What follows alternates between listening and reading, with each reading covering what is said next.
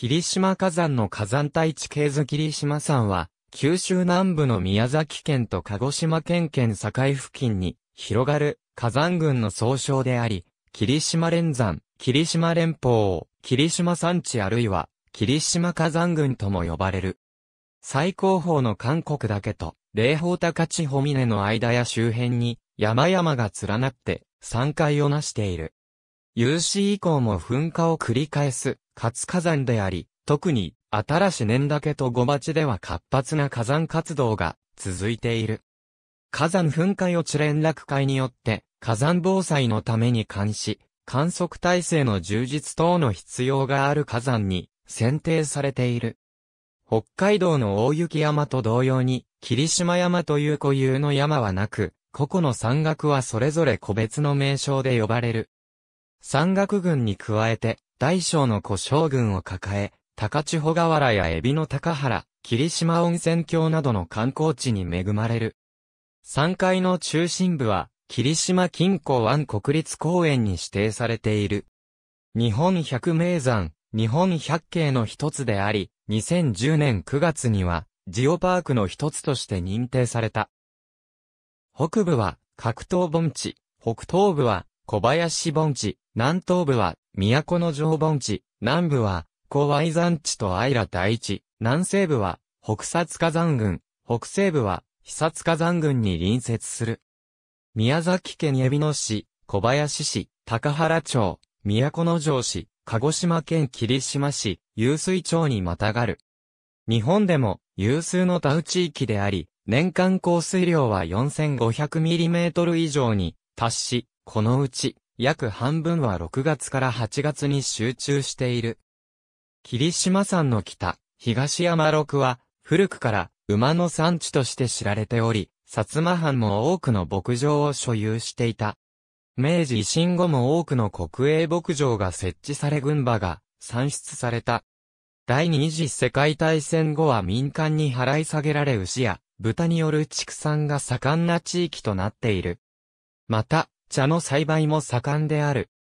火山群は大まかに北西から南東の方向へ並ぶ傾向を示しており、大波家や韓国岳などを含む北西部と高千穂峰や新し年岳などを含む南東部に分けられる。地熱が豊富であり、霧島温泉郷などの温泉地に恵まれ大喜利、発電所では、発電にも利用されている。硫化水素や二酸化炭素を噴出する、噴気口が散在する。霧島火山群として、日本の地質百選に選定されている。四万十層群と呼ばれる地層と、その上に重なっている、第三期火山岩が基盤となっている。火山活動は、約60万年前以前の活動、約60万約33万年前の古希、霧島火山、約33万年前以降の新規霧島火山に分けられる。約60万年前以前の活動南九州を噴出源とする供給源不明の噴出物として、サギセ火砕流、ヒワキ火砕流などの軽石流やテフラが存在している。古希霧島火山現在霧島火山が急源と考えられる最古のテフラから格闘火砕流の噴出までを古希霧島火山と定義されている。この期間は約52万年前に小林火砕流の噴出及び小林カルデラの形成、約33万年前に格闘火砕流の噴出及び格闘カルデラの形成などの火山活動が発生した。新規霧島火山格闘火砕流の噴出から現在までを新規霧島火山と定義している。大噴火を起こした格闘カルデラの南縁付近で火山活動が繰り返され、約30万年前から約13万年前にかけて、主に安山岩からなる栗の岳、湯の谷岳、声星岳、獅子戸岳、矢岳などが形成された。約13万年前に白鳥山や海老の岳などが作られた後は、活動が東西に分かれ、西部では大波家、韓国岳、古式岳などが、東部では大畑山、ひな森岳、双子石、中岳、新し年岳、高千穂峰などが形成されている。この期間は、海老の竹火山での噴火、約4.5万年前に、大波池での噴火、約7600年前に小高千穂峰での噴火、約4600年前に、大池での噴火などの活動を起こした。関心予に入ってからも、大畑池や大池などの噴火があった。有史以降の噴火活動は五鉢と新し年だけに集中しており、五鉢では、玄武岩質安山岩、玄武岩、新し年だけでは、安山岩でサイトのマグマを中心に噴出している。近世になってからは韓国だけの北西に、硫黄山が形成されている。日本本土最南端の鉱山地帯であり、火山地帯でもあるという特徴的な地域のため、明治初期から昭和初期にかけて多くの植物学者が訪れた。このため、霧島エビネ、霧島のガリアス、霧島鈴など多くの植物が、霧島山で最初に同定されている。日本において、霧島山を南限とする植物はカツラ、ヒノキ、裏白の木など100種以上あるのに対して、霧島山を北限とする植物は、つくし千鳥とつくし姫アリ同士蘭の2種のみである。霧島山にのみ自生する固有種として、の街道や、雲井小米草などがある。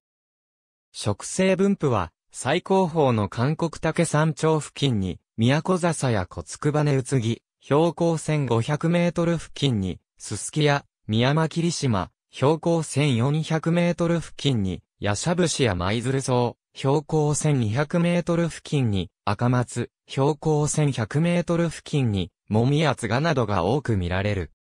特に宮間霧島は、標高700メートル以上の日当たりの良い場所に広く分布する。ホウジロ、青ゲラ、鹿等の野生動物が生息しており、国指定霧島鳥獣保護区に指定されている。多様な生物が見られる貴重な場所として、森林生物遺伝資源保存林にも指定されている。一方で、野生の鹿が増えすぎ、樹皮を食べられて立ち枯れする樹木も出るなど問題となっており、観光客が餌付けをしないよう呼びかけが行われている。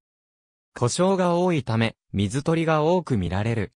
最も多い種は、マガモとカルガモであり、ヒヨドリとアトリも多い。